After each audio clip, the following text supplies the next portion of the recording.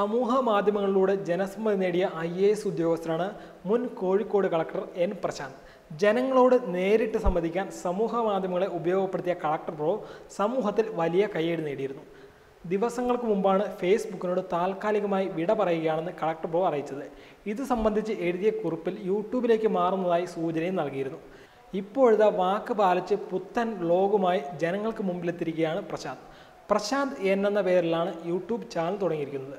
ജീവിതത്തെ പോസിറ്റീവായി എങ്ങനെ കാണാം? പ്രതിബന്ധങ്ങളെ എങ്ങനെ തരണം ചെയ്യാം? യൂട്യൂബിലൂടെ മറുപടികളും ചോദ്യങ്ങളും കമന്റുകളുമായി സോഷ്യൽ മീഡിയ സൗഹൃദങ്ങൾ തുടരട്ടെ. ഈ വീഡിയോ കണ്ട് എങ്ങനെയാണ് തുടർന്നും തുടർന്നും ബന്ധപ്പെടുക എന്നറിയുക എന്ന കുറിപ്പോടെയാണ് ആദ്യ വീഡിയോ അദ്ദേഹം പോസ്റ്റ് ചെയ്തിരിക്കുന്നത്. ഇപ്പോഴത്തെ വാക്ക് പാലിച്ച് പുത്തൻ വ്ലോഗുമായി ജനങ്ങൾക്ക് മുമ്പിലെത്തിയിരിക്കുകയാണ് പ്രശാന്ത്. പ്രശാന്ത് എൻ എന്ന പേരിലാണ് യൂട്യൂബ് ചാനൽ തുടങ്ങിയിരിക്കുന്നത്.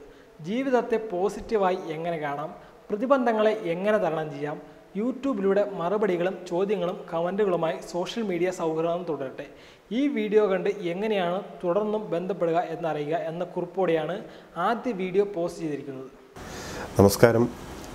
ഫേസ്ബുക്ക് വിട്ട് യൂട്യൂബിന്റെ ലോകത്തിലേക്ക് പിച്ച വെച്ച് നടക്കുന്ന ഒരു പാവം മനുഷ്യനാണ് ഞാൻ.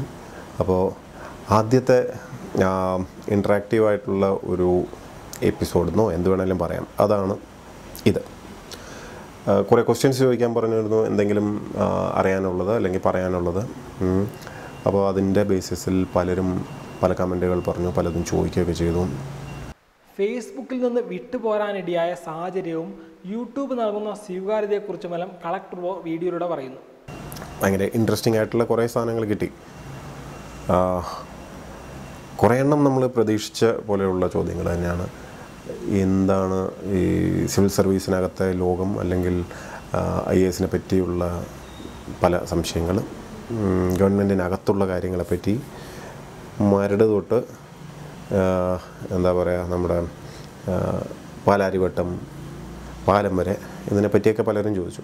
അനാവശ്യമായ വിഷയങ്ങളിൽ പോലും ഡീപ്പായി തെറി വിളിക്കുന്നവരാണ് ഫേസ്ബുക്കിൽ കൂടുതലെന്നും നമ്മുടെ മനസമാധാനത്തിന് വില കൽപ്പിക്കുന്നതിനാണ് യൂട്യൂബിലേക്ക് മാറിയതെന്നും കളക്ടർ ബ്രോ വ്യക്തമാക്കി. അനാവശ്യമായ വിഷയങ്ങളിൽ പോലും ഡീപ്പായി തെറി വിളിക്കുന്നവരാണ് ഫേസ്ബുക്കിൽ കൂടുതലെന്നും നമ്മുടെ മനസമാധാനത്തിന് വില കൽപ്പിക്കുന്നതിനാണ് യൂട്യൂബിലേക്ക് മാറിയതെന്നും കളക്ടർ ബ്രോ വ്യക്തമാക്കി. Web desk Tatwamayi news.